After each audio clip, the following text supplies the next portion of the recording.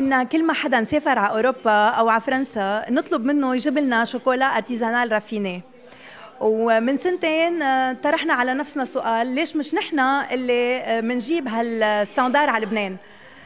وعلى الرغم من كل شيء قررنا إنه نقلع بالمشروع ورحنا على Salon du Chocolat professionnel à Versailles وهونيك تعرفنا على أفضل شركات بتصنع أحسن شوكولا بالعالم.